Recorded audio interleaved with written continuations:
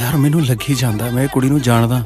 ਹੁਣ ਤੂੰ ਕਿਤੇ ਮੰਗੇ ਇਹ ਨਾ ਕਹਿਦੀ ਵੀ ਸਾਡੇ ਪਿੰਡ ਆਲ ਦੀ ਹੈ ਹਨਾ? ਹਾਂ। ਓ ਯਾਰ ਸੱਚੀ ਇਹ ਮੇਰੇ ਪਿੰਡ ਵਾਲ ਦੀ ਆ। ਸਤਿ ਸ਼੍ਰੀ ਅਕਾਲ ਜੀ।